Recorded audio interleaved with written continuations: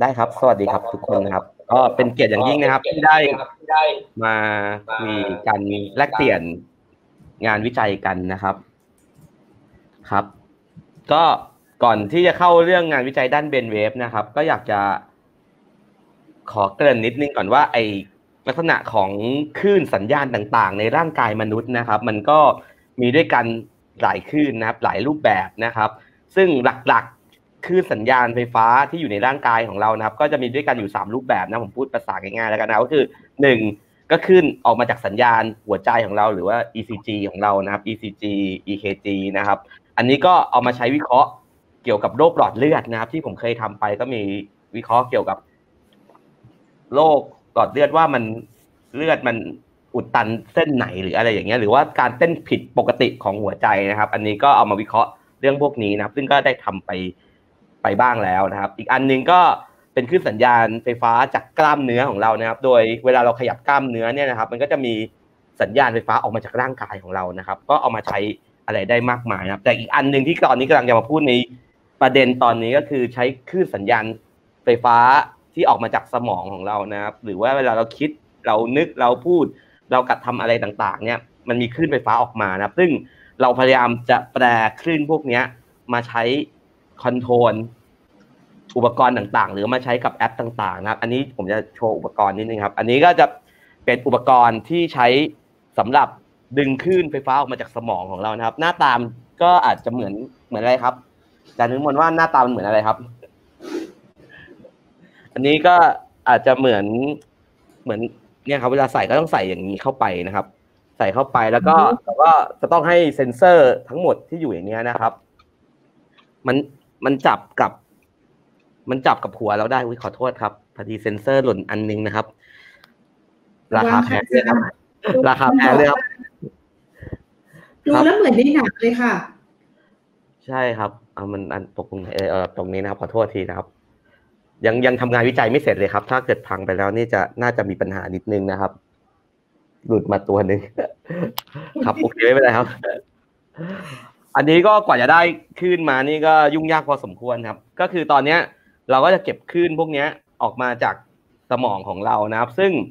เราจะแปลความหมายของสัญญาณสมองเวลาเราคิด หรือว่าเรานึก หรือว่าเราพูดหรือว่าเราทำอะไรก็แล้วแต่ครับ ก็ใช้ตัวตัวตะเกียครับตัวนี้นะครับ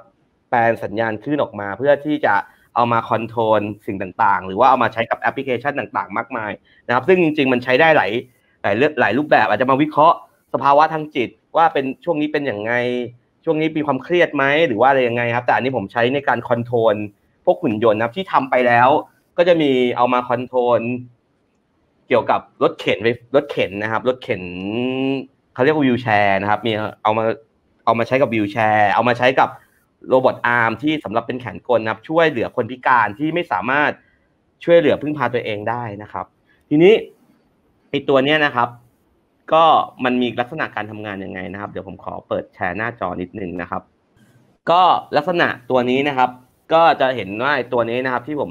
โชว์ให้ดูตะกี้นะครับ ก็เป็น Open BCI นะครับ ก็จะเก็ตสัญญาณขึ้นไฟฟ้า อันนี้รู้สึกเซ็นเซอร์จะมี 16 จุดนะครับ ก็จะเก็บเก็บขึ้นไฟฟ้าออกมานะครับ แล้วมาทำการ signal processing นะครับ หรือ pre-processing เพื่อสกัดคุณลักษณะของคลื่น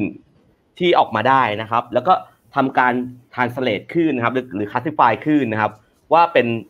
ว่าเป็นลักษณะชุดคำสั่งแบบไหนนะครับ แล้วก็เอาไปคอนโทรลดีไว c e ต่างๆนะครับ ซึ่งที่ผมทำไปแล้วก็เอาไป control รถรถเข็นคนพิการกับเอาไป control robot arm นะเพื่อช่วยในการทำงานของคนที่ไม่สามารถช่วยเหลือตัวเองได้นะครับ อันนี้ก็จะเป็นลักษณะของของ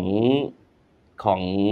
การทำงานโดยทั่วไปนะครับ ของของลักษณะคลื่น ซึ่งพอเราทำการศึกษา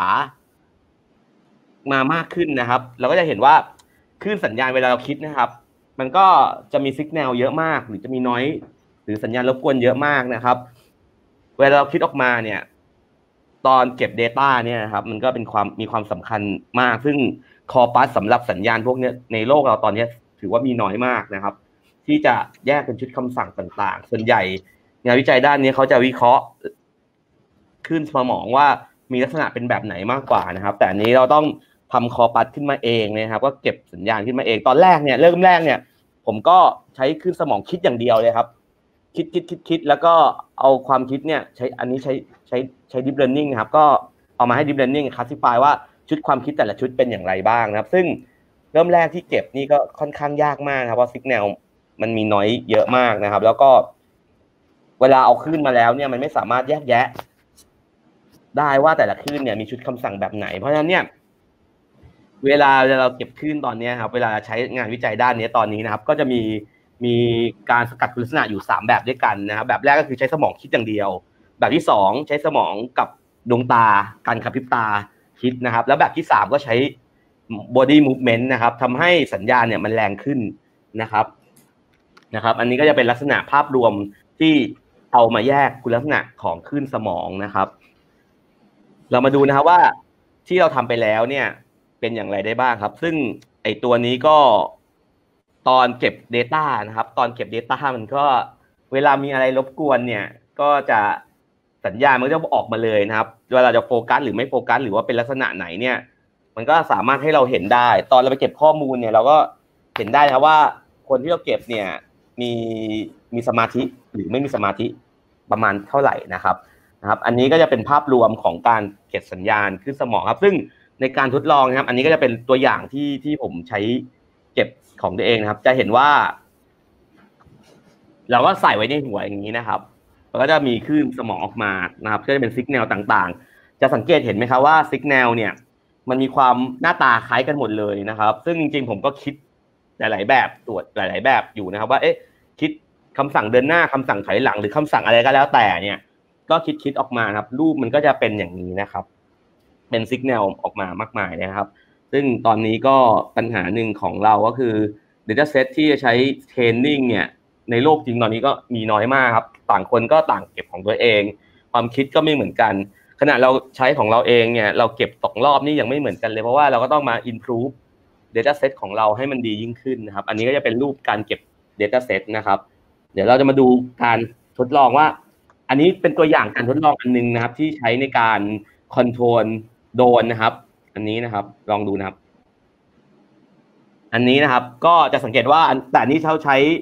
ใช้สัญญาณตัวเดียวนะครับ แล้วก็ใช้การ movement ของตานะครับ ในการสั่งโดนนะให้บินขึ้นนะครับ โดยเราใช้เนโรสกายแตะเซนเซอร์ไว้ที่หน้าผากนะครับนะครับ อันนี้ก็ต้องใช้ใช้ความคิดเป็นอย่างมาก เป็นงานวิจัย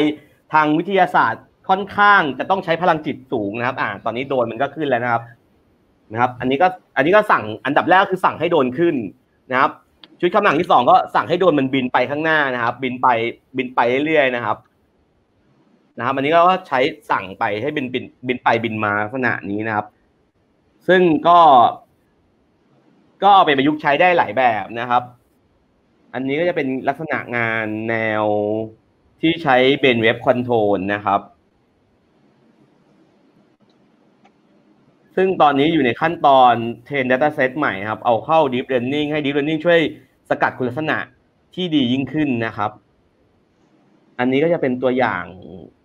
แอปพลิเคชันที่เราใช้ครับ ไอตัว control รถเข็น ซึ่งผมไม่ได้ถ่ายวิดีโอไว้ด้วยก็เลย